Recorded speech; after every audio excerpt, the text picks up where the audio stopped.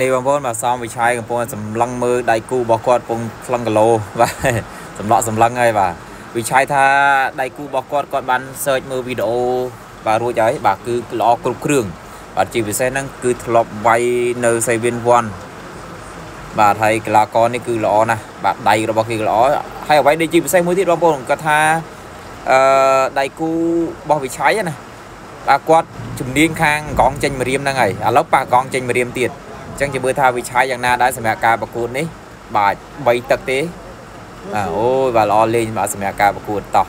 ឥឡូវយើងមើលសកម្មភាពនៃការថ្លឹងគីឡូទីសិនបាទហើយស្អែកនេះគឺជួបគ្នាហើយបាទសម្រាប់ការប្រកួតម៉ោង7ជប់បងប្អូនណាបាទកម្មវិធី Boost Strong King of the Ring គុណខ្មែរហើយនេះគឺជាការបាក់ថ្លឹងគីឡូបាទសម្រាប់សំវិឆ័យនិងកីឡាករបាទរ៉ុងបាទសម្រាប់ការប្រកួត